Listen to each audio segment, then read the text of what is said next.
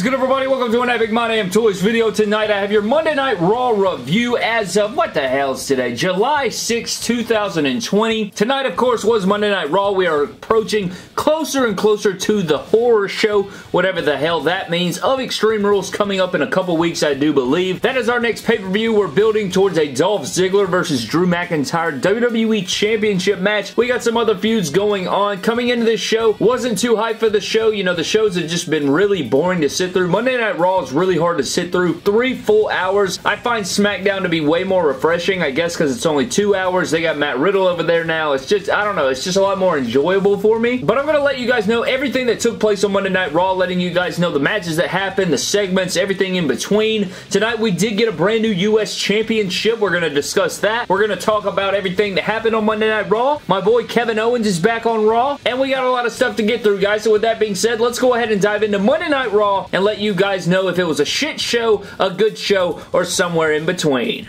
So tonight's edition of Monday Night Raw does open up with the WWE Champion Drew McIntyre. He opens up the show talking about Dolph Ziggler, you know, running down Dolph Ziggler and talking about the decision on the stipulation for their WWE Championship match at Extreme Rules, and you guys already know. Out comes Dolph Ziggler because, you know, they gotta have their, you know, they gotta have their little dialogue back and forth. They gotta get their rhetoric across between each other. Passionate opening between the two. I thought these men were doing a great job cutting promos back and forth on each other. Dolph Ziggler, you know, saying he's gonna keep it a secret secret between the stipulation for their match at Extreme Rules. Good stuff from both guys. I actually enjoyed this back and forth. The opening segment of Raw was a strong one. I think they did a pretty good job here. Out of nowhere, Dolph Ziggler pretty much says, you know, I've got somebody here who's been exactly where you are before. You know, he talked about his past and being fired and, you know, talking about his past friends. And out comes none other than the man that has kids. We got Drew McIntyre's old nemesis, or old friend, I should say, Heath Slater from Three Man Band come out You guys already know that Heath Slater was let go of the company a few months ago. He talks about their past. He says that he called him every day when Drew was fired. Where the hell was Drew when Heath was fired just a few months back? Very good promo back and forth. Definitely go look up this segment. I thought that Heath Slater did an excellent job in this role. He says he wants what he deserves. He shoves Drew. He slaps him. You know, he's real fired up and pissed off. You know, you can tell there's a lot of passion behind this promo. I think these guys did an excellent job talking to each other. So we go to a commercial. We come back from commercial, and we have an impromptu WWE Championship match or a match at all. I don't even know if the title was on the line. But Drew McIntyre hits Heath Slater with a Claymore kick. One, two, three. That was it. Ziggler beats down Slater after the match and then Drew McIntyre comes to save Slater and that was the end of the segment. I thought this was an excellent opening to Monday Night Raw. You could see the passion. You could see Heath Slater's got the fire in his eye here. I'm not sure where we go from here. You know, if Heath Slater's going to be involved, I doubt it. You know, they, they hugged after this segment was over. So I guess it was just like some passion from Heath Slater for getting fired, and then Drew McIntyre had to, you know, set him straight there. But this was good stuff by all three men. All three men involved in this segment was a banger. Great opening to Monday Night Raw.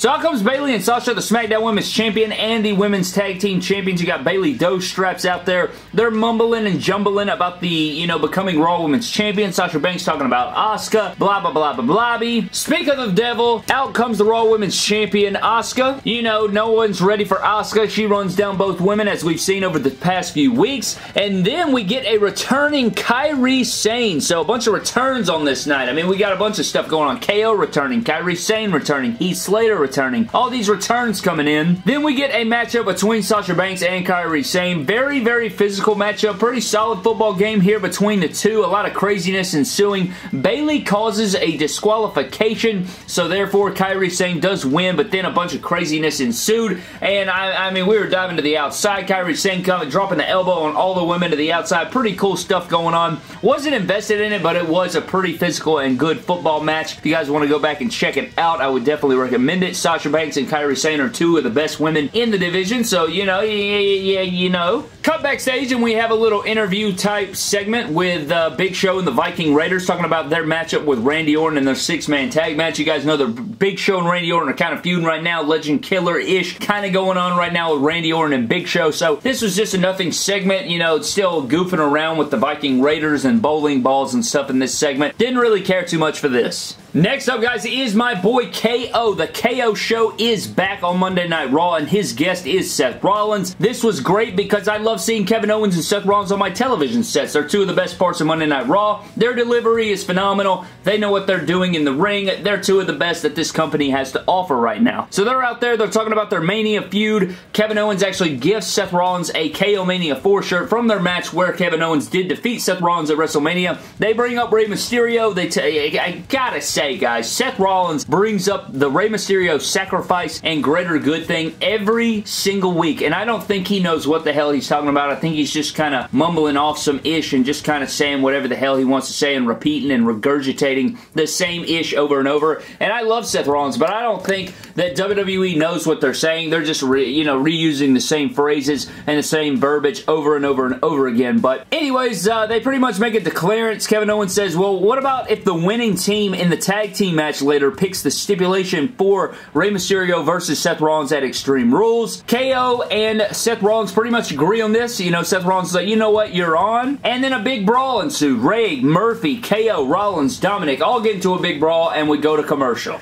Coming back from commercial, guys, we got something out of WWE Universe mode. We got KO and Rey taking on Rollins and Murphy. Solid little match, you know, nothing too crazy out of the ordinary. I do enjoy seeing Kevin Owens back in the ring. I love Rollins as well. All four men in this match are great, you know. I, I don't necessarily want to see them all four together, but when you got all four of these guys in the ring, you know, you're going to get some good magic. About that time, you know, we're nearing the end of the matchup, and out of nowhere, here comes Aleister Football Black. Now, this is something that I want to take note of. Aleister Black comes out. He was actually actually rumored to be in this matchup with Rey Mysterio over Kevin Owens. He comes out kind of limping, you know, showing that he was attacked backstage. Dominic comes out of nowhere, gouges Murphy's eye. Murphy rolls back inside the ring. I don't know what... Okay, if you're in a wrestling football game, right, you're out there wrestling, you're doing your own thing, you go to the outside and you get your eye gouged, why in the blue hell would you roll back inside the ring knowing that you could get taken advantage of? You know what I'm saying? It just makes no sense. That's like, that's like getting hit with like you're on the outside or, you know, you're on the stage,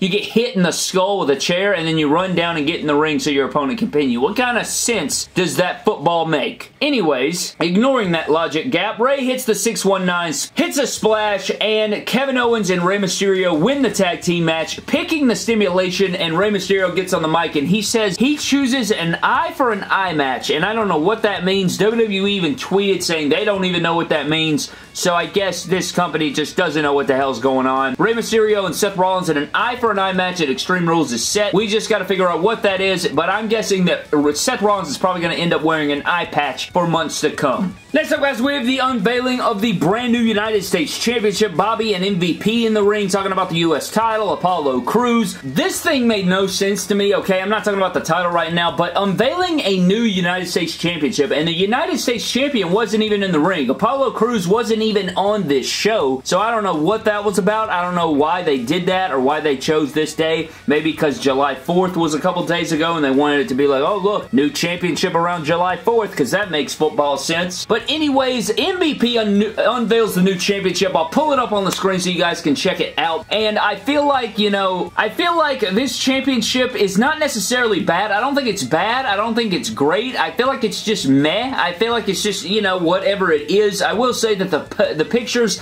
that WWE posted or the way it looked in the ring is not as good as it looks, you know, in the promo images or the other images that WWE shared online. But, you know, I guess it is what it is. I'm not thrilled about it. That's why I put the MDT US Championship here. I think my championship is better than that one, but I honestly like the older version better. I just like this. This is so classic. There's a reason they've used this design for 17 years, man. I mean, this is just so clean, and I took, you know, some inspiration from the current US title, or the older, I guess now it's not, and now it's not the current US title, but I don't know. I would love to know what you guys think of the championship down below. I've seen people that love it, and I've seen people that absolutely despise it. I, however, am down the middle. You know, I like the old one better for sure, but it's not a bad looking title. It's just meh to me. I don't know. It, it, it, it, I'm sure it'll grow on me just like every other championship does. It definitely looks better than the Intercontinental title. I don't like the way the Intercontinental title looks, but I think the older US title was much better, but you know, it is what it is. I feel like filling in the top part of the gold, like where the stars are by the WWE logo, if you filled that in with like a royal blue or navy blue color, I feel like the title would pop a little more, but anyways, out of nowhere, none other than Ricochet interrupts this match. I was like, oh my god, why the hell is Ricochet out here interrupting this segment? But we cut to commercial, and when we come back, we have a Bobby Lashley and MVP matchup taking on Ricochet and his tag team partner. You guys already know my boy Cedric Alexander. So my boy Cedric Alexander getting on TV here. I like these guys as a tag team. I think if they built them up correctly, this would be a great pairing to be together here. Their styles mesh greatly. I think if these guys were in NXT, they would be treated fantastically. Gotta fix it there. But anyways, Bobby Lashley and MVP do defeat Ricochet and Cedric Alexander. Of course they do, but set for Extreme Rules, Apollo Crews versus MVP for the new U.S. title. And uh, yeah, that's about it for this. I don't know why MVP introduced the title over Apollo Crews, but it is what it is. You guys can let me know what you think of the title down in the comment section below.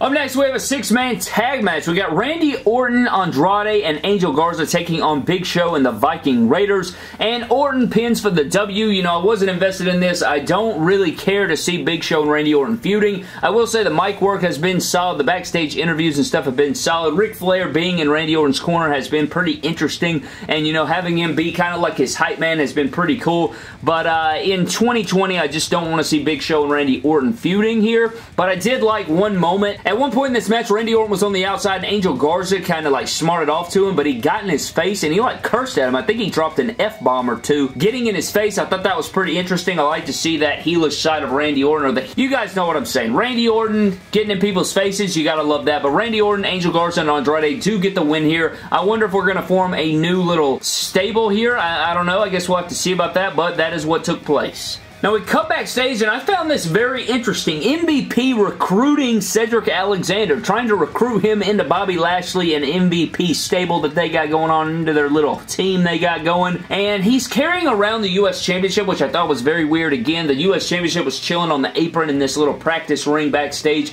where these guys were talking. I found that very weird because you're not the U.S. champion. I know he pinned Apollo Crews and he declares himself champion, but I just thought that was weird and like, I don't know, man. Anyways, Cedric doesn't really fall into it, but I guess we can see what happens with it. I'm kind of interested to see if they actually pull the trigger on this. You know, him turning his back on Ricochet, turning heel, could be very big for Cedric Alexander's character, could get him on TV more. I don't necessarily want him in that role, but if it gets him on TV more and it gets him to expand on his character, maybe we could see a really cool heel turn by Cedric, get him on our TVs more and build him up a little bit, but that would be pretty cool. I don't know. I guess we'll have to see where it goes, but MVP was trying to recruit Cedric Alexander. Now, this next part kind of broke my heart, guys, because we had a singles match between Billie Kay and Ruby Riott, and Billie Kay beat Ruby Riott in like five minutes. Very quick match again. Ruby Riott continuing to lose on television. Very sickening to see. Imagine like losing 15 matches in a row after you being, you know, you, after you come off an injury where it seemed like you were off for like a year, you know, everybody kind of forgets about you, and then you come back and you make this big appearance. You got your hair redone, your hair's all grown out, you got all these new tattoos, you're looking great, and you lose like 80 matches in a row to talents like Billie Kay, man. I don't know. Ruby Riott's way better than this. She's definitely a better promo. She's a better wrestler. She's a better character. She she looks better as, you know, like a gimmick to me in the ring. Uh, just, just upsetting, man. Much like Liv Morgan. I don't know. I don't know, man. You gotta do something with these people. You gotta do something with these ladies, man. Ruby Riott losing again here to Billie Kay in a nothing match that's just like, bro, why? Why? I don't know. Anyways, now it's main event time. We got champion versus champion. Sasha Banks and Bayley's corner and Kairi Sane and Asuka's corner and my freaking ponytail to my Bayley figure just fell off and this shoulder will not hold this title up. I tried for 20 freaking minutes. It won't stay. I'm Just forget it. I'm leaving it where it is. Champion versus champion right here. Very good match. I thought this was a great TV match between two ladies. You got two of the best women in the entire industry, probably in all professional wrestling across the entire world right here going at it in the main event of Raw. I thought it was very good stuff. High drama, high intensity between both women women, all four women actually, because Kairi Sane and Sasha Banks would get involved. The end of the matchup, however, did end kind of lame because Nikki Cross comes out and she starts banging on the plexiglass from like six feet away from Bayley, and Bayley acts all freaked out, and she gets kind of distracted. Asuka would then lock in the Asuka lock. They would do some rolling up, back and forth, schoolboy stuff like that, and then Asuka would win one, two, three after, a, after you know, one of those roll-ups. Kind of like locking in a submission and then kind of sitting down, you know, where she's in a pinfall situation. And that was it. One, two, three, it's over. Like I said, solid football match, but just, I don't know, man. And the, the drama was, was there. I just didn't like the ending of it, but I guess we're continuing the Bliss Cross Applesauce storyline between them, Bayley and Sasha. But I don't know, bro. It is what it is. That was it for your Monday Night Raw. Overall, you know, just uh, just the shows just kind of all blend together. There's some segments that are individually good and some matches that are okay. It's just overall, when I try to sit through the show, it's just super hard to sit through everything. I think there's individual moments and individual talents that do well, but then again, as a full show, it's just very hard to sit through, man. With all the ads and the three-hour show, it's just like it drags by. But anyways, that was your full Monday Night Raw review. I would love to know what you guys think down in the comment section below. What did you think of the U.S. Championship? What did you think about KO returning? What the hell is an eye for an eye match? I guess we're going to find out, but that is going to do it for the video, guys. Thank you so very much for watching. I hope you guys did enjoy the Monday Night Raw review. Let me know what you think of everything down in the comment section below. Follow me on Instagram and Twitter at MyDamnToys. Need to get the Twitter game up, so definitely follow me on Twitter if you want to watch as I react to the show live. I tweet about stuff that's happening real time, so if you guys want that feedback immediately, go follow me on Twitter. But thank you guys for watching, and I will see you guys in the next video. Thank you.